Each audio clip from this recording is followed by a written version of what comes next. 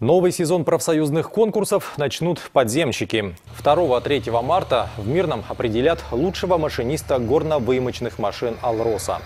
Соревнования пройдут в учебно-курсовом комбинате. В них примут участие лучшие работники из Мирнинского и Айхальского комбинатов, а также шахтостроительного треста. Навыки работы на добычном комбайне участники продемонстрируют на симуляторе. Он воссоздает условия, приближенные к реальной работе техники под землей.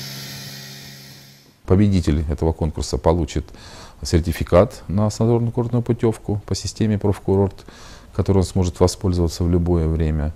Ну, второе, третье место также будут вознаграждены. В этом году мы запланировали проведение 9 конкурсов профмастерства. А следующий конкурс у нас в апреле месяце ориентировочно состоится по профессии сварщик.